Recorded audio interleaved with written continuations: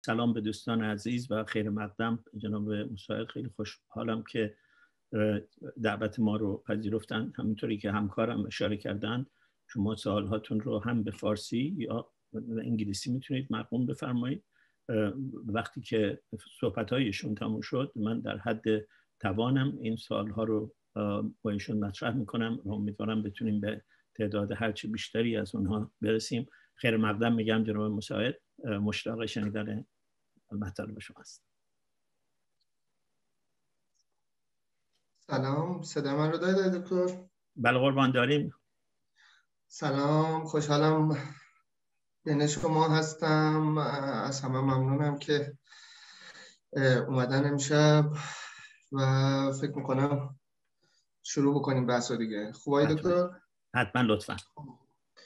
من قبل از هر چیزی می‌خوام اشاره بکنم به وضعیت غمانگیزی که امروز به نام محجوبی در ایران باش روبروه و یادی بکنیم از او و بقیه کسایی که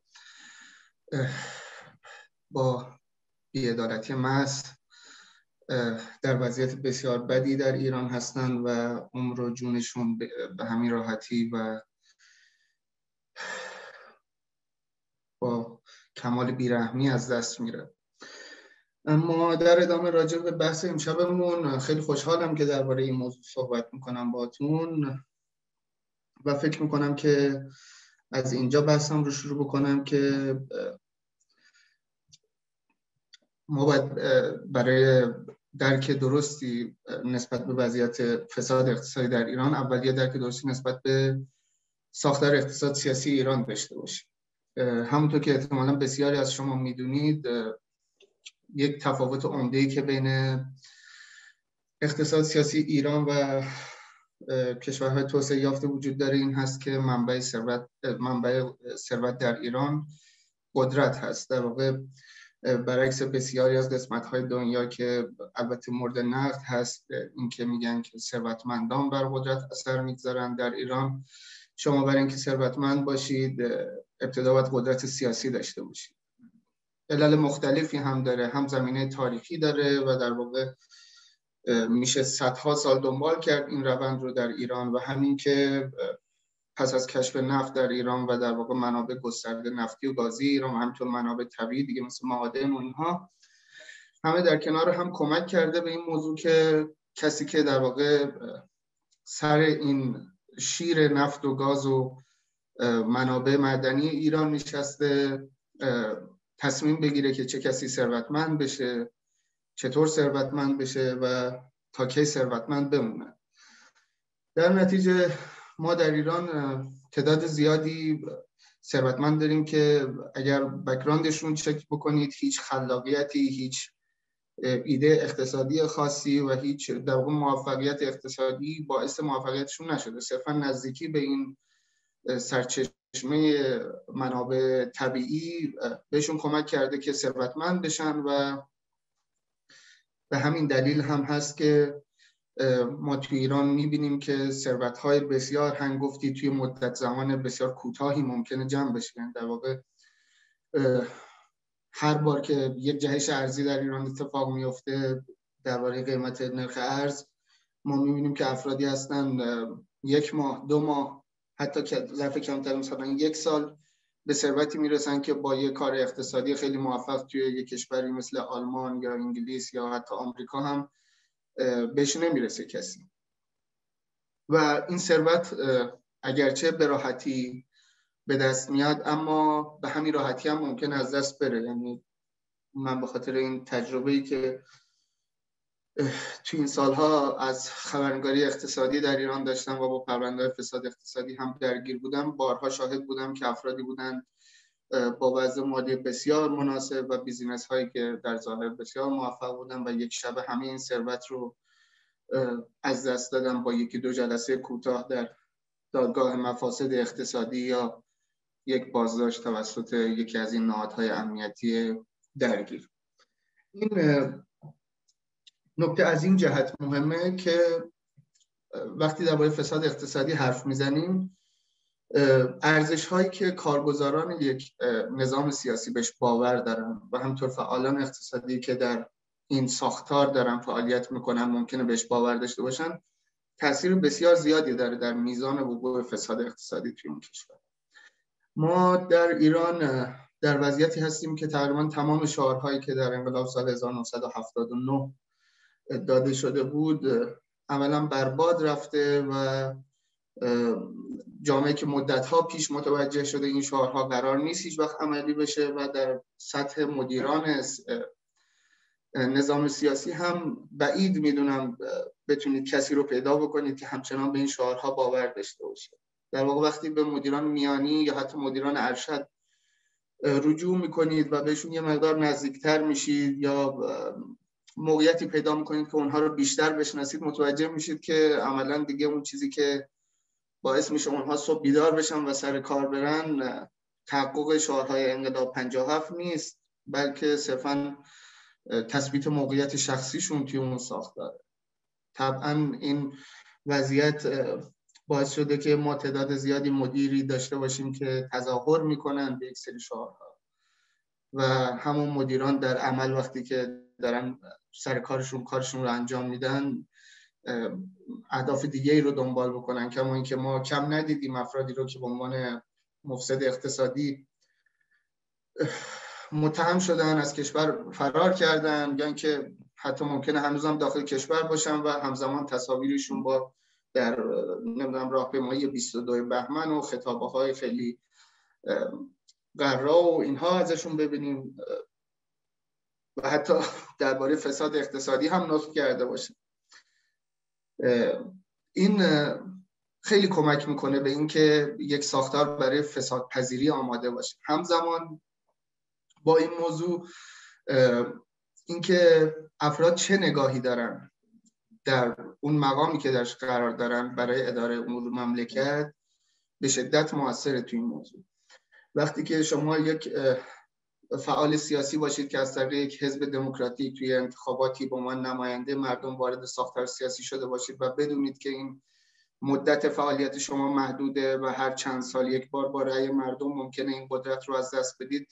قطعا رفتار شما متفاوت خواهد بود با وقتی که احساس بکنید که شما وارث یک پیروزی سیاسی در چند دهه گذشته بودید. در واقع اون چیزی که امروز با عنوان سفره انقلاب می‌شناسیم. یک حقیقت که در ذهن بسیاری از مسئولین ما به صورت جدی نهادینه شده اینکه اونها خودشون رو زفرمندان انقلاب 57 می‌دونن و به عنوان پیروز طرف پیروز اون انقلاب این حق رو برای خودشون قائلن که از امکانات ویژه برخوردار باشن. و بارها هم این رو میگن. یعنی شما می‌تونید بینشون این رو ببینید که طرف بگه که خب حالا من یه زندگی خیلی خوبی دارم ولی به این دقت بکنید که پدر من یه زندانی سیاسی بوده قبل از انقلاب. یا اینکه من تمام کودکیم در جنگ گذشته. و این رو حق ویژه خودشون می‌دونن. طبعا بخشی از مسئولین هم هستن که عملا خودشون رو به عنوان مسئول اداره کشور و نماینده مردم نه تنها قبول ندارن بلکه حتی این ماهیت ایران رو هم نمیپذیرن یعنی مثلا بخوام مثال بزنم. این سردار محمد رضا نقدی معاون همان کننده سپاه پاسداران همین مهر در شبکه سه صدا و سیما جمهوری اسلامی وقتی که داشت حرف می‌زد درباره مسائل مختلف کت می‌کنم ازش. گفت که مثل فتح مکه توسط پیامبر و مثل فتح تهران توسط امام خمینی ما اسرائیل رو فتح خواهیم کرد. وقتی فردی درباره فتح تهران حرف می‌زنه و این رو در واقع به صورت یک پیروزی جنگی بزرگ در یک سرزمینی می‌بینه که همونطور که خودش اشاره می‌کنه بهش تعلق هم ممکن نداشته باشه. هر فتحی هم بالاخره غنیمتی داره. توی چنین وضعیتی هم طبعا بخشی از این افراد اونچه که در ایران به دست میارن و شرایطی که براشون فراهمه رو به صورت یک غنیمت جنگی می‌بینن. طبعا توی چنین ساختاری امکان رشد فساد اقتصادی بسیار زیاده و اینکه این رو باید اضافه بکنیم به اینکه سیاست های تعدیل اقتصادی که در ایران ایجاد شده توی چند دهه گذشته همزمان باهاش هیچ کدوم از اون شعارها درباره اینکه این قرار آزادی سیاسی بیاره برامون محقق نشده و در یک فضایی که در واقع شما مطبوعات آزاد ندارید امکان تشکل یابی وجود نداره امکان ابراز نظر آزادانه وجود نداره طبعا وقتی که از آزادی اقتصادی حرف می‌زنیم داریم درباره غارت صحبت می‌کنیم. این ساختار با این شرایطی که توضیح دادم دربارهش کاملا کمک می‌کنه به وجود به گسترش فساد اقتصادی که پیوند مستقیم داره با فساد سیاسی. و همیشه شاهدیم که در ایران قوانین اقتصادی ریشه سیاسی دارن. و چون اونجا هم قرار منافع قانونگذار تعمین بشه به وسه تغییر می‌کنم. من به یاد دارم که با یکی از این بازرگانان اروپایی در تهران صحبت می‌کردم که تازه وارد ایران شده بود و در یکی از همین در واقع تشکل هایی که بازرگانان در ایران دارن همکاری می‌کرد. او چند تا روزنامه انگلیس زبان چاپ تهران رو به من نشون داد که با ماژیک هایلایت کرده بود صحبت های مسئولین اقتصادی کشور رو در روزهای مختلف و سوالش این بود که اینها چرا هر روز یه حرف می‌زنن من هر روز روزنامه دارم می‌خرم هر روز دارم حرفای اینا رو می‌خونم ولی دو روز بعد می‌بینم که همون مسئول یا یک مسئول هم رده اون کلا داره یه صحبت دیگه می‌کنه یا حرفش رو کاملا عوض می‌کنه و اصلا ما نمی‌دونیم که توی یه چنین فضایی چطور باید برنامه ریزی بکنیم چطور باید در واقع شرکتمون رو بست بدیم توی ایران. وقتی اصلا نمی‌دونیم قرار اینجا چه اتفاقی طبعا این همراه باش رشوه های سنگینی هست که از این افراد طلب میشه هم از خارجی ها هم از داخلی ها و وضعیت رو برای اونها هم پیچیده می‌کنه. یعنی ما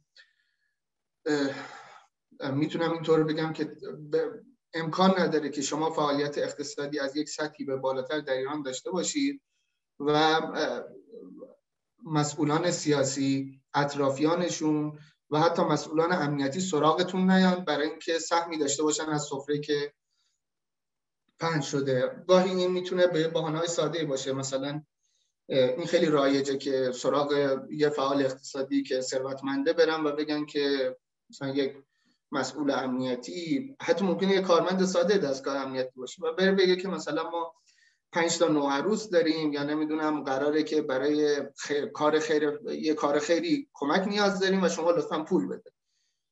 طبعا در اینجا جوابی که می‌خواد بگیره بلست و اگر اون فعال اقتصادی بخواد کار بکنه در ایران فعالیت داشته باشه و خطری متوجهش نباشه می‌دونه که باید بله بگه. چون شما همیشه در ایران در فعالیت اقتصادی روی یک میدان مینی هستید که قانون پیدا خواهد شد برای اینکه جلوی فعالیت شما رو بگیره و نگفتن به چنین درخواستی هم به معنی در واقع پایان کار شما خواهد بود در همزمان با این ساختار سیاسی ما قلک هایی رو هم داره که ازشون تغذیه می‌کنه. قلک مثل شستا مثل خیریه های مختلفی که با اسامی مختلف تأسیس شدن و فعالیت می‌کنن. اینها در واقع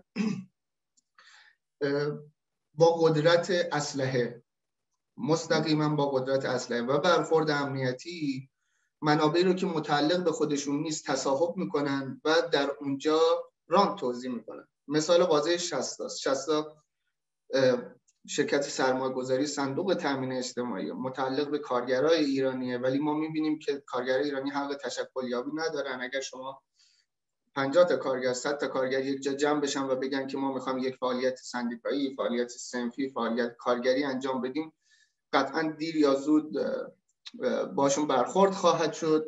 و این ثروت بسیار بزرگی که با حق بیمه کارگرا تهیه شده میاد جمع میشه و زیر نظر دولت. باز هم صرفا با زور قرار می‌گیره و اونجا میشه محل توضیح راند و غنیمت پیروزی انتخابات. هیچ فرقی هم نداره دولت چپ یا راست. هر کدومشون که انتخابات رو ببرن باید دوستانشون رو و آشنایانشون رو بین این شرکت ها تقسیم بکنن. کما که امروز اگر شما نگاه بکنید به مثلا همین شرکت شستا و برید هیئت مدیر اسامی رو نگاه بکنید برمیخورید به افرادی که حتی سابقه فعالیت سیاسی دارن و با این عنوان که اینها آزادی خواه هستن اینها قصد دارن که اصلاحات در ایران انجام بدن ممکن حتی زندان رفته باشن ولی با پیروزی دولت اومدن اونجا توی جایی که نه تحصیلاتشون مرتبطه نه تواناییش رو دارن عضو هیئت مدیره شدن و دارن از منافع مالیش استفاده می‌کنن این ساختار با توجه به این ابعادی که توضیحش دادم کاملا قابل حدسه که با یه فساد سیستماتیک بزرگی روبرویم که شما اگر فاسد نباشید توی یه چنین سیستمی امکان رشد نخواهید داشت. همزمان برخوردی که سیستم با این فسادها می‌کنه همیشه سیاسیه و اینکه اون در واقع سازوکارهای قانونی هم که برای مبارزه با شکل گرفته عملا ناکارآمدن نشانه واضحش هم این که توی تک تک پرونده بزرگ فساد اقتصادی در ایران توی سالهای اخیر می‌تونید رد پای مسئولان حراست اون نهادها رو هم توش ببینید. یعنی یکی از متهمای پرونده کسیه که اونجا حقوق می‌گرفته تا جلوی فساد رو. و این از مسئولین حراست شروع میشه و ممکنه به مدیران بالاتری هم که توی نهادهای نظارتی هستن برای مقابله با این فساد برسه. کما که مثلا توی پرونده دکل گم شده نفتی چند تا از متهمای اصلی پرونده یا مقام امنیتی بودن یا در واقع به عنوان کارگزار اونها داشتن توی صنعت نفت فعالیت می‌کردن. و بخشی از اونها هم رسیدگی به پروندهشون هرگز عمومی نشد و توی سطح خیلی محدودی صرفا به اینکه استعفا بدن از مقامی که دارن و اینها کفایت شد. اونم حالا بعد از اون همه سر و صدایی که در واقع سر اون پرونده شده بود. من فکر می‌کنم وقت زیادی هم ندارم سعی می‌کنم کوتاه بکنم. یه نکته دیگه هم که خیلی برام مهمه و کمتر دربارش حرف زده شده و دوستم دربارش حرف بزنم حقوق کسانی که به عنوان متهم در پرونده های فساد بازداشت میشن یا تحت پیگرد قانون قرار می‌گیرن. ما همیشه سعی کردیم که تو این سالا در واقع عمرمون رو گذاشتیم برای مبارزه با فساد ولی این به این معنی نیست که از حق اونها بگذریم. افراد تو ایران یا دستگیر نمیشن این افرادی که در فساد اقتصادی دارن یا وقتی دستگیر میشن عملا از همه حقوقشون هم محروم میشن اونهایی که توی پرونده هایی هستن که ماهیت سیاسی دارن. و افرادی هم هستن که در واقع ما توی ادبیات رایج توی ایران بهش میگیم رخ.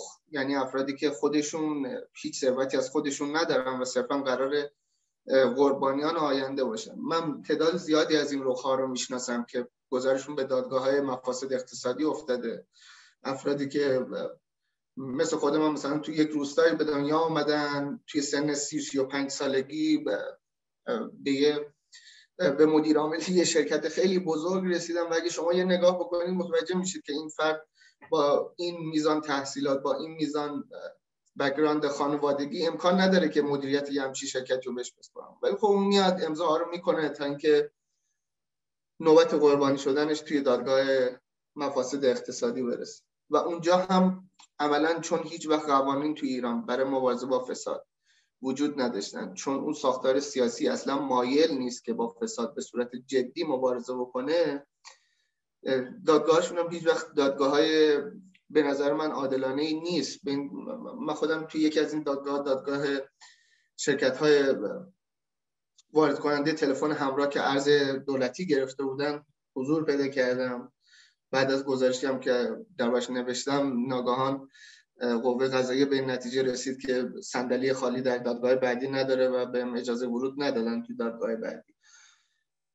در اون دادگاه متهم حاضر شد در محل دفاع اولا حق نداشت وکیل انتخابی داشته باشه. وکیل رو بعد از بین لیستی که قوه قضاییه داده بود انتخاب می‌کرد. وکیلش هیچ اطلاعی درباره پرونده های اقتصادی نداشت هیچ گونه تخصصی نداشت. پرونده رو حتی نخونده بود. خود فرد اومد از خودش دفاع بکنه.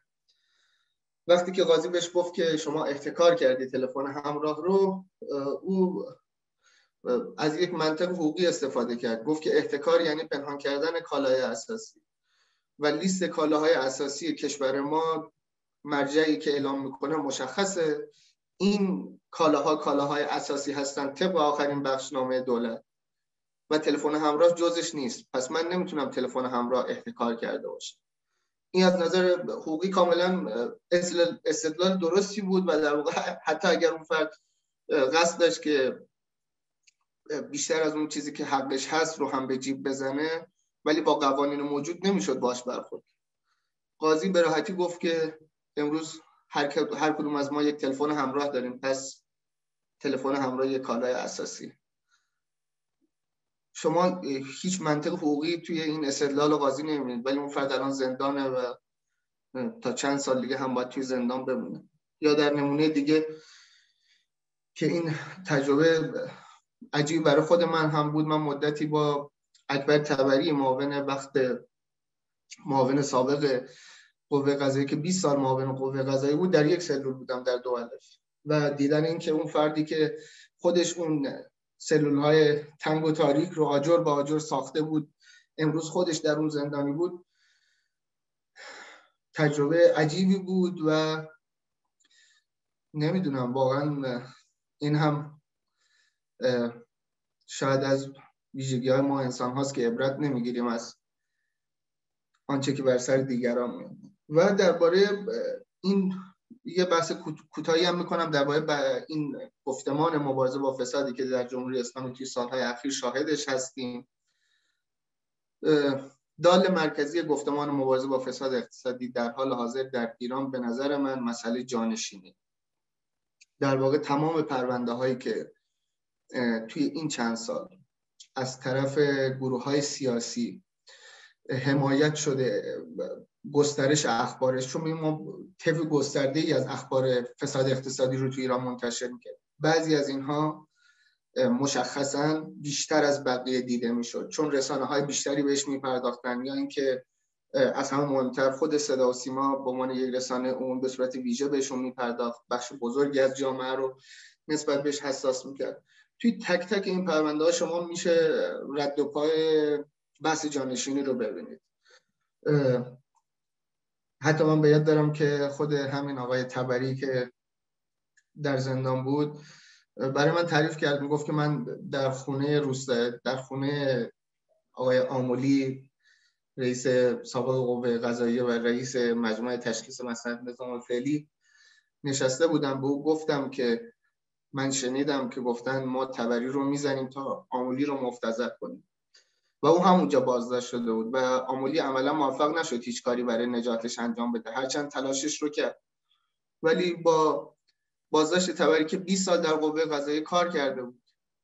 پروندهش مشخص بود. تمام اون اعمالی هم که به خاطرش محکوم شد از قبل همه می‌دونستم. بارها در راجبش صحبت شده بود. پروندهش بررسی شده بود و ادعا شد که هیچ تخلفی نداره. ناگهان تبدیل شد به مرد مخوفی که سالها فساد کرده و بدا به حال آمولی که در کنارش این اتفاق افتاده. شاید نمونه واضحی باشه. یا نمونه دیگه راجب برادر مهدی مهدی جهانگیری برادر اسحاق جهانگیری یا راجب حسین فریدون راجب رعیت راجب حسن رعیت راجب ایسا شریفی. تک تک اینها شما چیزی که توش می‌بینید اینه که گروه های قدرتی که دارن تلاش می‌کنن تو ایران برای جانشینی بعد از سید علی خامنه ای به صورت مستقیم تلاش می‌کنن نمونه هایی از افرادی که در نزدیک هر کدوم از چهره های مؤثر در اون ماجرا رو پیدا می‌کنن پرونده هاشون رو بکشن بیرون. مهدی جهانگیری سالها همه می‌دونستیم که داره توی بیزینسی که انجام میده فساد اقتصادی هست. سالها راجبش نوشته شده بود. اتفاقا اون دوری که نزدیک به احمدی نژاد هم فعالیت می‌کرد. در واقع نزدیک به دولت احمدی نژاد فعالیت می‌کرد. می‌شد دید این رو که کاملا واضح این موضوع. ولی خب گذاشته شد تا اینکه وقتی که زمان مناسب رسید باش برخورد شد. یا و این رو هم بگم. توی این پرونده ها همیشه ناگفته ها باقی میمونه و من حدس می‌زنم که این ناگفته ها گفته خواهد شد ولی در زمان مناسب برای اینکه در واقع رقبای داخلی خودشون رو توی اون سطح بیابرو بکنن برای رسیدن به اون هدف سیاسیشون و به همین دلیل هم من واقعا ذره امید ندارم که این بحث مبارزه با فساد جواب بده در ایران به خاطر اینکه اصلا این بیسش و این ریشه این روند هدف دیگری داره و وقتی که اون هدف قرار دنبال بشه اینجا اتفاق نمیفته کما اینکه می‌دونیم قوه قضاییه دفاع خط دروازه مبارزه با فساد و مبارزه با فساد توی کشورهایی که درش موفق بودن مدت ها پیش از اینکه کار به دادگاه برسه و فسادی اتفاق بیفته شروع میشه. فکر می‌کنم تا اینجا توضیح کوتاهی دادم و البته زیاد صحبت کردم ولی فکر می‌کنم که اونچه که می‌تونستم تو این وقت بگم رو گفتم. حالا اگر سوال و جوابی جهت تکمیل این بحث وجود داشته باشه خیلی خوشحال میشم که بهش جواب بدم. خیلی متشکرم. البته زیاد صحبت نکردید. خیلی هم کم صحبت کردید ولی خیلی خوب صحبت کردید و خیلی صحبت های سوال خیزی بود. ما کلی سوال اومده حدس می‌زنم در چند دقیقه آینده سوال های دیگر هم خواهد آمد. دو سه تا سوال در واقع در یک جهته و برمیگرده به این حرف آخر شما که بسیاری از این افشاگری ها مسئله قدرته دعوای قدرته. روزنامه‌نگاری مثل شما یا دیگرانی که در ایران هستن بعضیشون الان زندانن بعضیشون همین امروز شنیدم یکی دیگر از همکاران شما رو محکوم بله. کردن چطور کار حرفه‌ای خودشون رو انجام میدن و ملعبه دست این بازی نمیشن یعنی چجوری حد خودشون رو به عنوان یک روزنامه‌نگاری که افشاگر فساده نه افشاگر رقیب آقا مشتبا یا فلان. چجوری این رو حل می‌کردید و می‌کنید و باید کرد؟ ببینید حقیقتش مثل دویدن توی میدون مینه. با این اطلاع که قطعا منفجر خواهید شد. یعنی دیر, دیر و زود داره ولی سخت سوز نداره. قطعا این اتفاق میفته چون من می‌تونم حداقل سه تا دستبندی کلی بین خبرنگارا انجام یک بخش از خبرنگارا کلا اصلا به این بحث مبارزه با فساد و اینها معتقد نیستن. کما اینکه گروهی از اونها حتی فساد رو تا حدی لازم هم می‌دونن برای کشور. اونها رو می‌گذاریم کنار. بین دو گروهی که در واقع در زمینه مبارزه با فساد فعالیت یه سوال دارم. همین. این گروه از روزنامه نگارانی هن که خودشون دستشون در فساده و از اون طریق رانت می‌خورن. بله بله. متاسفانه باید این حقیقت رو گفت که بخشی از مطبوعات ما کاملا در این زمینه غرق این فساد شده و به همین دلیل هم سکوت می‌کنه راجبش یا حتی با دفاع هم می‌کنه توی موارد متعدد دیدیم. بین دو گروه دیگه که در زمینه مبارزه با فساد فعالیت می‌کنن یک گروه طبعا سعی می‌کنن توی این یارکشی ها یار خودشون رو پیدا بکنن و از این طریق یک حاشیه امنی پیدا بکنن. اینکه مثلا شما اگر قرار مبارزه با فساد بکنید تمرکز بکنید روی دولت حسن روحانی و بعد پیوسته از ابراهیم رئیسی به خاطر اینکه زورو مبارزه با فساد در این هست تشکر بکنید یا اینکه در مقابل نه بیاید از پشتیبانی دولت استفاده بکنید. برای اینکه مثلا تمرکز بکنید روی فسادی که توی سپاه پاسداران یا توی شهرداری تهران در زمان غالیباف وجود داشته. گروه سوم عمر بسیار کوتاهی دارن. اونایی هستن که وارد این بازی نمیشن. و اینا دو تا مشکل خواهند داشت در همون ابتدا. یکی اینکه این گروه هایی که درگیر این رقابت گسترده هستن در ابتدا سعی می‌کنن پیدا بکنن که خب این الان داره از کجا خط می‌گیره این داره برای کی کار می‌کنه. و دو اینکه باید حملات همشون رو همزمان تحمل بکنن. یعنی یه وقتی که شما سراغ خارج دولت میری. ولی امیدت به اینه که پس برده اگه اتفاقی برات افتاد حامیان دولت ازت حمایت بکنم. ولی در مقابل مثلا یه گروه دیگه می‌تونن امیدوار باشن به اینکه اگر دولت سراغ من اومد اگر چه می‌دونم وزارت اطلاعات سراغ من اومد قوه قضایی از من حمایت خواهد کرد توی این درگیری داخلی بر سر قدرت. ولی این گروه واقعا هیچ اتفاقی براشون نمیفته یعنی من همین توی این چند سال که کار کردم از مسئول قوه قضایی تا نماینده مجلس تا دولتی ها تا سپاه پاسداران که بازداشتم کرد از هر طرف زدن تو سرم یعنی من شاکی نماینده مجلس داشتم. قوه قضایی پیش از بازداشت احضار شدم و سر یک دوستی یعنی حتی توی اون ساختار بروکراتیک قوه قضایی هم نچرخیده بود. یک مقام قوه قضایی خودش تشخیص داد که زنگ بزنه و گوشم رو مثلا بکشه به خاطر اینکه درباره دوستش چیزی نوشته بودم. سپاه پاسداران که گفتم بازداشتم کرد. دولتم همین آقای در واقع آقای شریعت مداری و وزیر کار اطرافیانش تا تونستن فشار آوردن روی در واقع موقع که روزنامه شرق بودم برای اینکه من متوقف کنم چیزایی که راجع به شریعت مداری می نوشتم یا راجع به بقیه در نتیجه می‌تونم بگم که این کار فقط توی دوره کوتاه مدت ممکنه انجام دادن. سرانجامش سرانجام چندان خوبی نیست. حال خوشحالیم که شما فعلا سرانجام سالانی پیدا کردید. رومین اتفاقی برایتون نیفتاده و برایتون آرزوی سلامت و ادامه کار موفق می‌کنم و همه می‌کنیم فکر کنم. دو سه سوال در مورد این است که در خیلی ها در داخل ایران مدعی که با فساد سوای روزنامه نگارانی مثل شما نهادهایی هستن که مدعی با فساد مبارزه می‌کنن.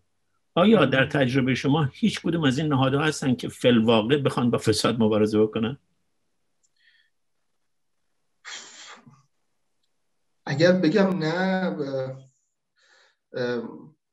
ممکنه خیلی صفر و یکی دیده باشم ولی به نظر من حتی اگر افرادی باشن که در این نهادها چنین میلی داشته باشن چنین کاری ممکن نیست. به خاطر اینکه شما توی ساختار بسته که عملا نهادسازی ممکن نیست. توش امکان نداره بتونی نهادی بسازی که بتونه توی یه درگیری قدرتی که توی این ابعاد داره اتفاق میفته اصلا فرصت نفس کشیدن داشته باشه.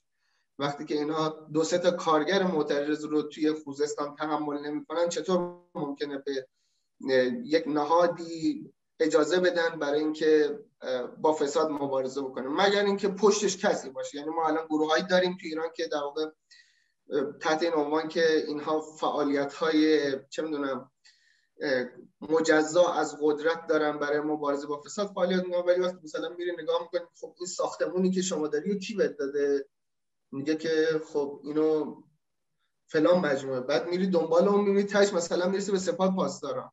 خب طبعا نهادی که داره مجموعه ای که داره پول ساختمونش رو هم از سپاه پاسداران می‌گیره نمی‌تونه بگه من با فساد توی سپاه پاسداران مبارزه خواهم کرد. این اصلا ممکن نیست عمل در نتیجه نه به نظر من اصلا هیچ شانسی توی اون داخل وجود نداره برای این کار چون خیلی در هم گره خورده این مسئله.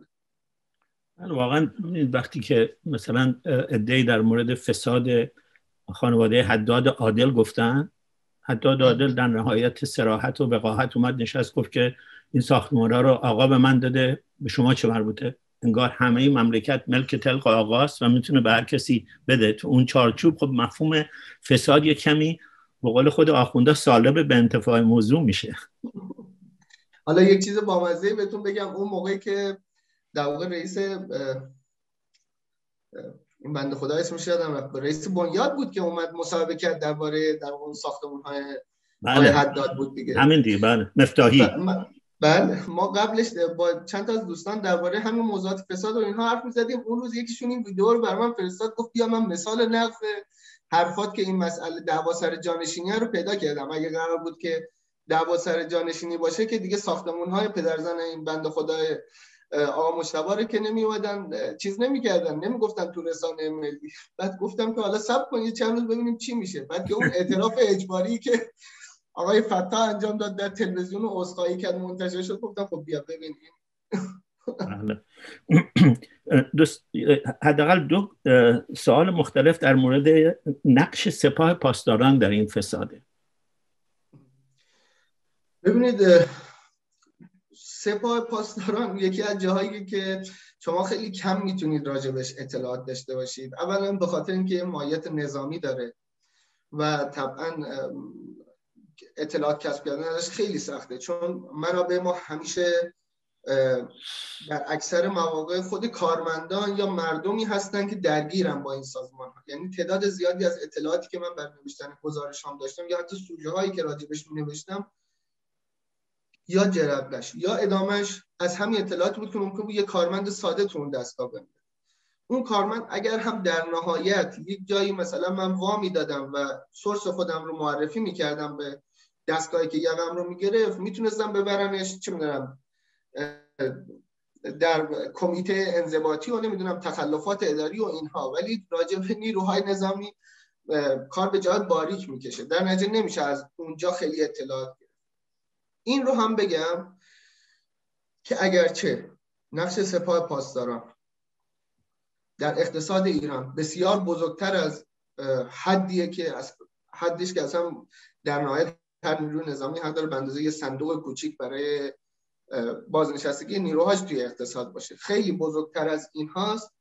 اما به این هم دقت بکنیم که گروه های دیگه هم هستن که مایلن تمام این ماجرا رو به دوش سپاه پاسداران بندازن برای اینکه نقش خودشون رو پنهان بکنن در این سهم از سفره.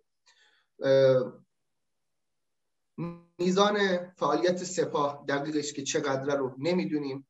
احتمالا هم تا وقتی که سپاه با برجاست نخواهیم فهمید. ولی می‌تونم این رو بگم که گسترده است فعالیتشون و طبعا بررسی میزان فساد توی اون هم به راحتی ممکن نیست به همین دلیلی که توضیح دادم.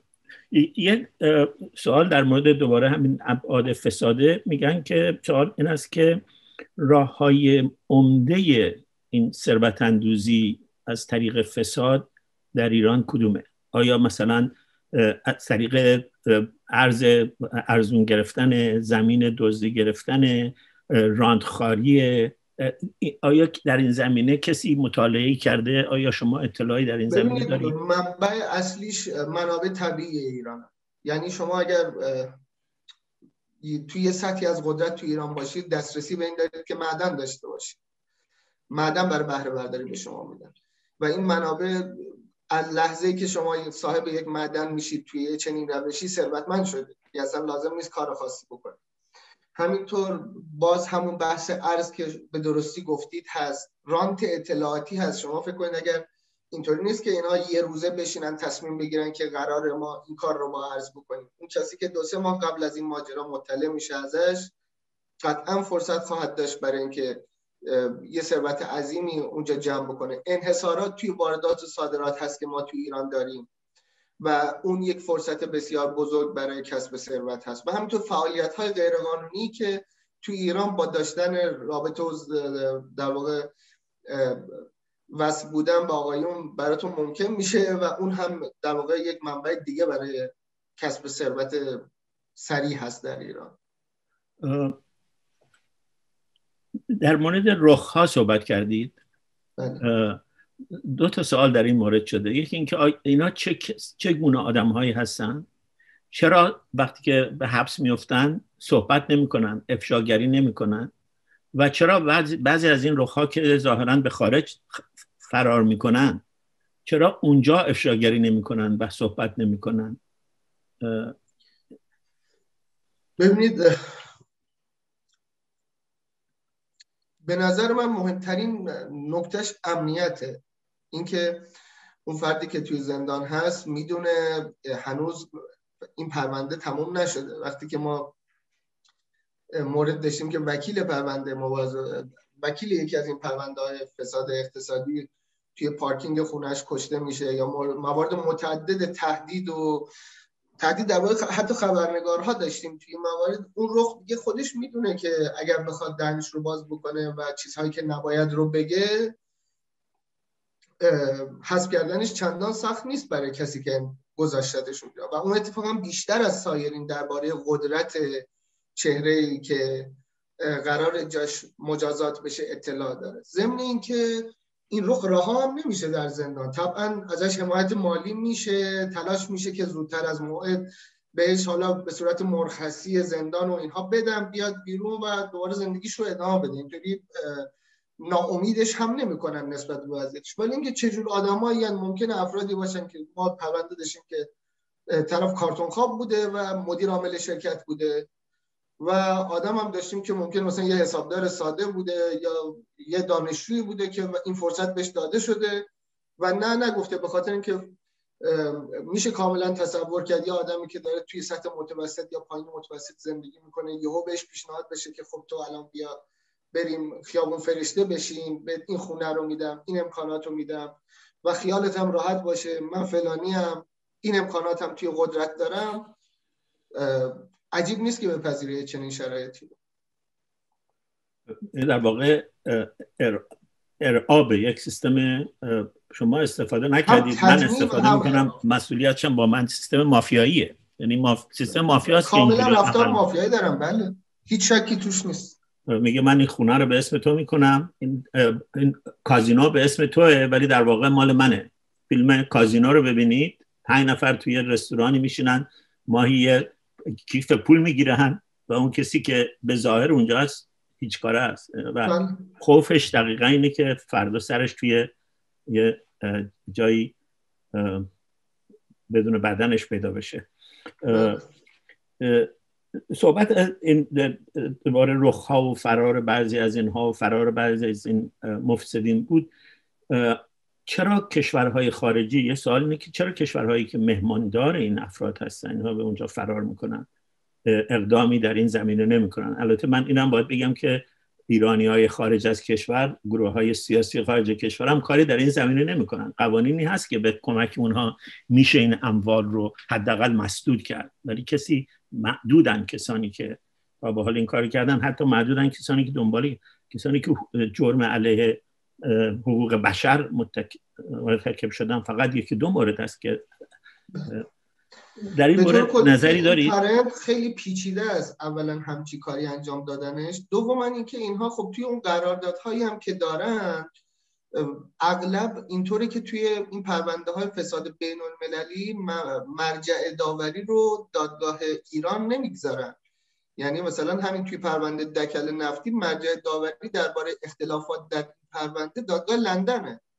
در نتیجه اصلا شانسی نداره برای اینکه کسی بتونه اون فرد رو مثلا کسی که فرار کرده یا کسی که حتی توی ایران هست رو توی داخل کشور تعلیم بکنه. چون مثلا توی قرارداد ثبت کرده و مثلا همین شرکت تاسیسات حفاری پذیرفته به عنوان نماینده جمهوری اسلامی که من اگر شکایتی داشته باشم توی دادگاه لندن پیگیریش می‌کنم.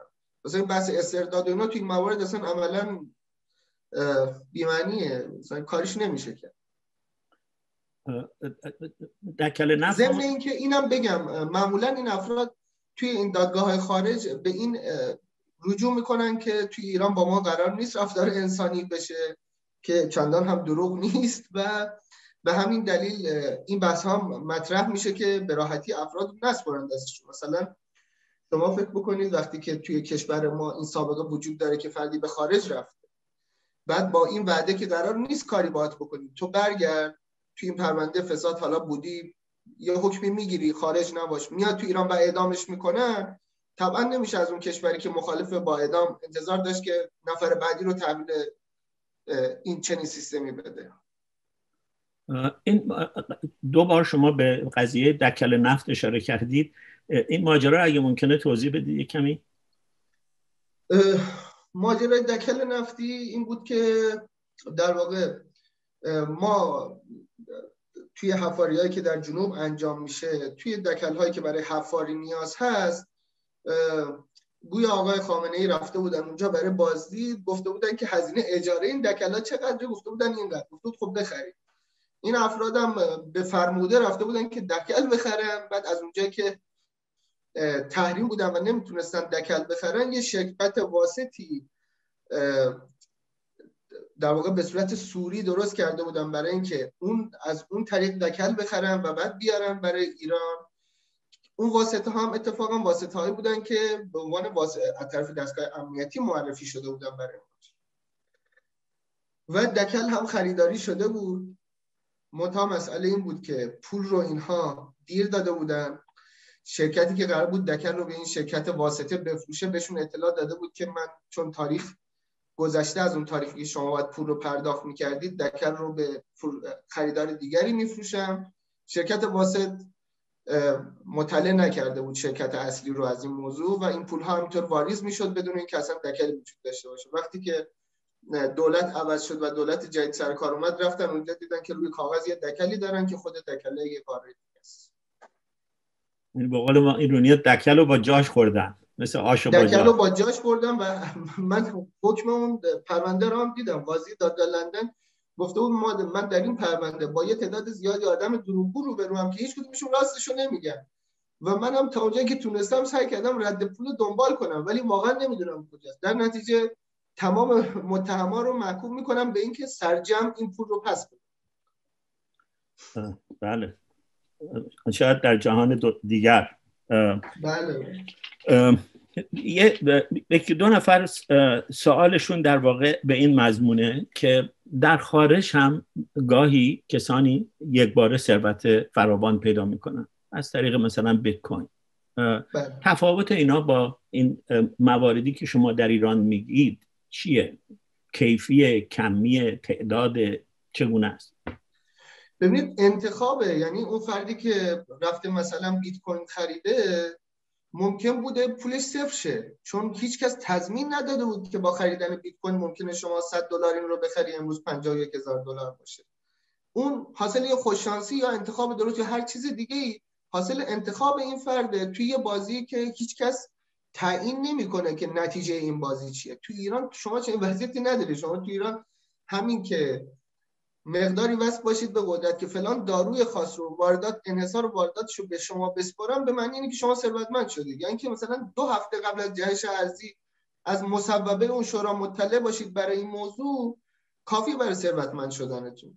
یا توی موارد متعدد بحث معادن مثلا جدیه. اینکه مثلا خب چرا معدن رو به من ندادن به شما ندادن چرا به اون نفر X که چه می‌دونم 20 سال توی فلان دستگاه امنیتی کار کرده و خودش رو بازنشست کرده زود هنگام و یه صاحب 10 تا معدن شده. چرا به اون دادن؟ اینا اینا تفاوت هست دیگه نسبت به اون شکل از ثروتمند شدن. البته من می‌دونم چرا به من ندادن. من ندادم چون کیهان گفته من جاسوس آمریکام. خب به من نمیدن ولی متعجبم به دیگران چرا نمیدن که مستحقش هستن در مورد یک دو تا سوال هست در مورد بابک زنجانی. که این چطور مونده و چطور تونسته مقاومت بکنه؟ آیا اطلاعی در مورد کم و کیف پروندهش و وضعیتش دارین و در این حال یکی دو تا هم سوال در مورد دورانی که با آقای تبری در زنده حبس بودید. چون اون به نوعی خیلی اطلاعات قایتا داشته دیگه. ولی بعید می‌دونم در موردش صحبت کرده باشه. در مورد این دو نفر اگه میشه توضیحاتی. ببینید در مورد بابک زنجانی من هیچ اطلاع اضافه ندارم جز همین چیزهایی که هممون می‌دونیم. و به نظر من اینکه الان هنوز هست و این پرونده باز هم باز هست هم بخشی از همون در واقع رقابت سیاسیه که در واقع دو طرف ماجرا حل میدن ماجرا رو به سمت که خودشون دوست دارن ولی هنوز هیچ کدوم موفق نشدن درباره آقای تبری آقای تبری یه فردی بود مثل سایر مدیران جمهوری اسلامی تقریبا با یه هوش متوسط یک سری عادات خاص باورمند به طب سنتی و در واقع اون سلول کوچیکی که سه چهار نفر ما بودیم تنها کسی بود که سر وقت به محض از آن نمازاشو می‌خوند. معمولا بقیه وقتش رو توی سلول سعی می‌کرد قرآن بخونه اینطور میگذرون وقتشو. و او زیاد حرف می‌زد راجع به وضعیت خودش. اتفاقا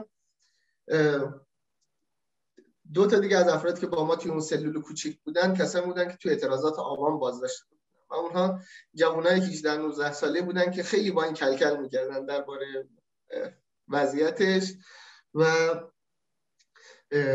او هم سفت و سخت دفاع می‌کرد در مقابل و کوتاه نمی اومد به هیچ وجه.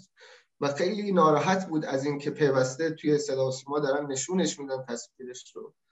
و این رو هم بگم که روز اولی که من رفتم توی اون سلول دیدمش بهش گفتم که آقای تبری گفت که تو من می‌شناسی؟ گفتم آره دیدم شما قبلا.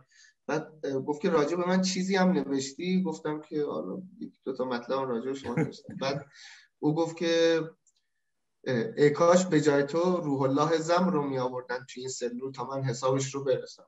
این به نظرم جا داشت که این رو هم یادآوری بکنیم که روح الله زم سرنوشتی که داشت بخشش به خاطر اینها هم بود. و ابراز تاسف بکنیم از اینکه جانش گرفته شد. در نهایت باز هم بیعدالتی حالا اگه سوال خاصی درباره تبری هم هست من جواب میدم. دیگه هم توضیحاتی که دادید چون وقت کمه فکر کردم آخرین سوال رو در مورد این پرونده ای که این روزها در موردش خیلی صحبت هست و ما رو به یک مسئله اساسی برمیگردونه و اون این است که بهای اصلی این فساد رو در واقع کارگران ایران و مردم ایران و طبقه متوسط و زحمتکشان ایران و بازنشستگان ایران میدن. این قضیه هفت تپه شما آیا در این مورد و بلایی که بر اون اومده و بلایی که الان بر سر کارگرانش داره میاد و کسانی که در موردش خبر میدن فساد رو رو می‌کنن اطلاعاتی اگه دارید لطف کنید. بله البته ببینید هفت تپه میشه چند ساعت و چند جلد کتاب راجبش حرف زد. چون این ریشه اتفاقی که امروز هفت تپه داره میفته فقط فساد نیست ریشه های مختلفی داره. از عوامل طبیعی مثل کمبود آب توی اون شروع میشه تا موارد متعددی که بار شده رو اون اما نمونه از این هست که چطور این فساد اقتصادی می‌تونه توی یک دوره خیلی کوتاه زندگی چند هزار نفر رو عملا نابود بکنه. ببینید هفتپه یک مورده و خوشانس بودن کارگران هفتپه که به خاطر اون ویژگی جغرافیایی و در واقع اشیره‌ای که دارن اون ساختار فرهنگی که دارن پشت هم بودن و هنوز هم هستن مقاومت می‌کنن. ما تعداد زیادی از این شرکت ها توی ایران داریم که یا توی کلان شهرها بودن و کارگرها اینقدر به هم پیوند خانوادگی و عاطفی نداشتن که بتونن توی فشارها همدیگر رو کمک بکنن یا اینکه توی شهرهای کوچیکی بودن که بی صدا خفه شدن. بی نهایت شرکت اینطوری هست که به معنای واقعی کلمه توی این سالها غارت شدن از بین رفتن. شرکت هایی که زمانی باعث افتخار منطقه بودن و در خیلی مدت کوتاهی طرف اومده شرکت رو گرفته و من شاهد بودم نمونه از این شرکت ها رو که فرد تعهد کرده تا آخر آخرین ریال حقوق اون کارگرا رو هم بده و بگه که اصلا نیایید سر کار. نمی‌خواد بیاد سر کار. من اینجا رو میبندم و حقوقتونم تا ریال آخر میدم.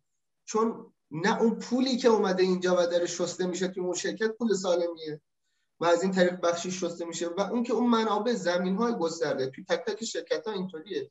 هفته زمین خیلی وسیع داره. هپکو بسیار زمین داره توی ایران توی تهران داره توی شمال کشور داره یا توی شهر توی شرکت که توی گیلان مازندران و گرگان هستن خب می‌دونید اونجا قیمت زمین کاملا متفاوت با بقیه مناطق ایران. اون اونجا زمین ها بسیار گسترده مثل شرکت ابریشم گیلان حجم زیادی زمین باغ توت و زمین اینطوری زمین حاصلخیز اونجا داره که به همین راحتی از بین رفتن و تاوانش رو هم مردم میدن. با بیکاری با اینکه پول از جیب مردم رفته در نهایت. و فقر اینکه یه کشوری با این همه منابع با این همه پتانسیل امروز مردمش توی اون وضعیت باشن و این همه درآمد نفتی وارد که بعضی از این کشورها با یک دهم این درآمد اقتصاد خودشون رو نجات دادن و این پول عظیم اونجا از دست رفته فکر می‌کنم کاملا باید همه هم می‌دونن. یعنی فکر می‌کنم نه. اگر کسی امروز انکار بکنه که فساد اقتصاد مهمترین عامل بدبختی مردم ایران از نظر اقتصادیه در خودش رو فریب میده فقط. وگرنه بقیه می‌دونن که با چی رو برن. این که نمی‌دونم تحریم خارجی بود و اینها ممکنه موثر باشن. ولی هیچ کدوم به این اندازه اثر نگذاشتن. چون پول ها اومده بالاخره و تو این کشور اینطوری از دست رفته. ما متاسفانه به آخر وقتمون نزدیک شدیم. می‌خواستم واقعا هم از همه کارهایی که در گذشته در ایران کردید. تشکر بکنم. امیدوارم که کارتون رو ادامه بدید. یکی دو تا از دوستان بر ما خصوصا ایراد گرفتن که چرا ما گفتیم شما در ترکیه هستید. جان شما رو به خطر انداختیم. خواستم بهشون توضیح بدم که مسئله حضور شما حداقل تا چند روز پیش در ترکیه مسئله عام بوده و ما هیچ در این زمینه بله. اطلاع ویژه‌ای نداریم و ندادیم. براتون آرزوی ادامه موفقیت و کماکان پربار کارتون دارم و امیدوارم بار دیگه ای که دعوتتون می‌کنیم چون این قصه سر دراز داره و ما تازه وارد آغاز مدخل بحث شدیم. در دانشگاه حضورا دعوتتون بکنیم و بحث مفصل تری رو اونجا در خدمتتون باشیم. خواهش می‌کنم. من از شما تشکر می‌کنم و از همه دوستانی که وقت گذاشتن این برنامه رو شرکت کردن. خیلی خوشحالم به خاطر اینکه بعد از یک سال و اندی که عملا امکان فعالیت و صحبت کردن با دیگران رو نداشتم این فرصت فراهم شد بیم و اینجا یه مقدار حرف زدم چون اینا همه تهنشین میشه. توی دل آدم آدم توی جوانی پیر میشه مثل ما که. توی چنین وضعیتی قرار گرفتیم. من هم ممنونم ازتون.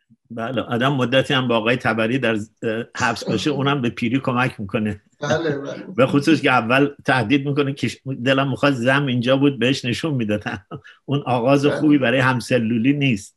بله, بله, خیلی متشکرم که واقعا دعوت ما رو پذیرفتید و این برای ما یک بخت بلندی بود که شاید اولین گمانم گفتار خارج از ایران شما رو در اینجا ما داشتیم و خیلی تشکر می‌کنم. نمی‌دونم خانم فرهاد نکته ای رو هست بگه. روما is there anything you need to add? No, I think we're good. Thank you. بی نهایت متشکرم. سوال سالهای زیادی شده که ما به همش نرسیدیم. من سعی کردم که یک طیف و اونها رو مطرح بکنم. اگه اجازه بدید سوالا رو برای شما میفرستیم. اگه خواستید می‌تونید پاسخ بدید اونهایی که آدرسشون روشنه حتما حتما حتما. خیلی متشکر ممنون دکتر. خدا نگهدار شما. روز شما بخیر. خدا روز بخیر.